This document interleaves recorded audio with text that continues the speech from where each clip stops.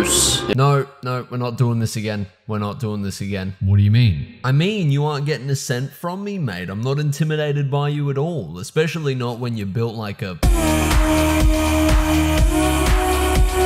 Well, that's rich coming from you, Bruce, considering you're built like a.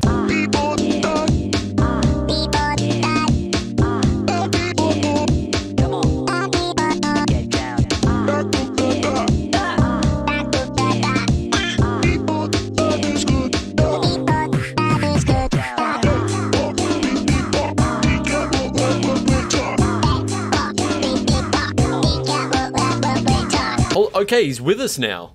Damn.